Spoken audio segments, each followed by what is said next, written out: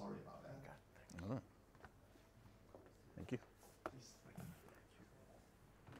Hello, everyone. Uh, great to see so many people going for the 100% completion uh, achievement here. Uh, I'm just going to be talking a little bit about STAC. Uh, who knows what STAC is? STAC, Spatial uh, Temporal Asset Catalog. All right, let's get on it. Uh, in that case, let's see. Does that do a thing? Other way around. There we go. Uh, yeah, so STAC is quite simply um, a network of JSON documents. So you have a uh, typically a catalog at the top level, then you'll have some collections underneath that, each collection being a data set, and then you'd have items underneath that. You can have nested catalogs, nested collections, etc. Um, and it's a simple, uh, compared to the ISO standard that has been used before, uh, metadata standard, which you can use to uh, easily um, catalog your, your uh, metadata information. Um, it's extensible, so uh, different from other metadata standards, uh, they've gone for a small core and uh, a bunch of extensions. So there's a few uh, official ones. We've developed, I think, about seven at, at LINZ already. Um, unfortunately, it doesn't support vector formats very well. Uh, I'm not sure about the technical details there. Somebody from the Topo group might be able to inform you better about that. Um, but there are um, plans to incorporate it into the OGC family of standards. And uh, yeah, you can find much more information at the stacspec.org. There's uh, the spec itself. There's an API, which is quite basic. Uh, there's uh, JSON schemas for all the um, for the whole standard and for the extensions. Um, and yeah, it's pretty easy to deal with as a developer. Uh, so the actual data looks a bit like this.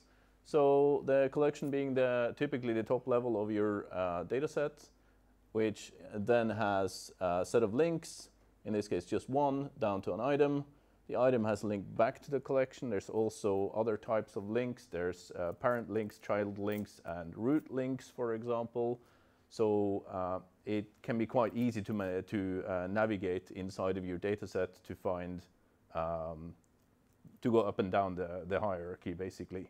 Um, we've also, um, this, this was one of the main reasons we started using it. Uh, yeah, the, basically the simplicity of it, and it's easily um, validated, for example. There's already tools to do a bunch of these things, even though the standard is pretty new. It was uh, version 1.0 in June last year, so fairly recently.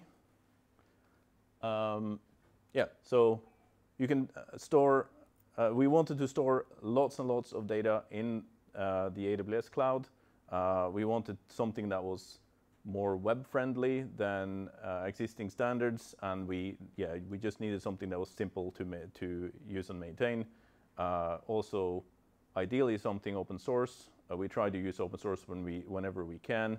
So uh, one of the problems with uh, existing metadata standards is that some of them at least are effectively closed. They're ISO standards, so our users wouldn't be able to uh, just download them without paying money to some, some third party.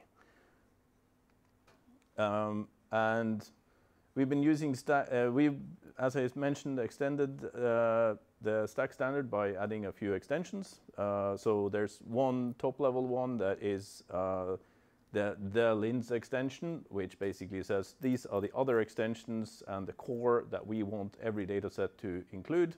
We've been using that to validate these data sets in another system. Uh, so the first link here is to all those extensions that we have.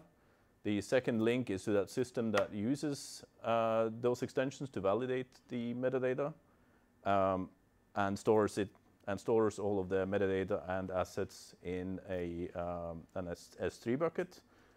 And um, other tools that use STAC include the basemap services, which you've already heard about, the Topo processor, Ditto, and the Argo tasks.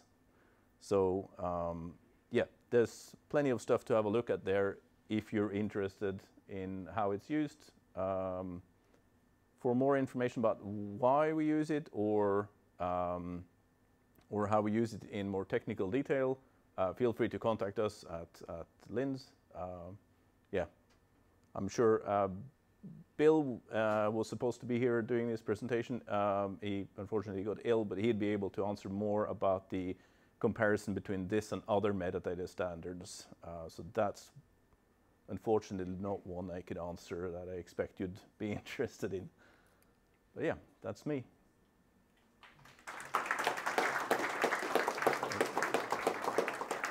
Thanks. Thank you, Victor. Do we have any questions? Thank you very much.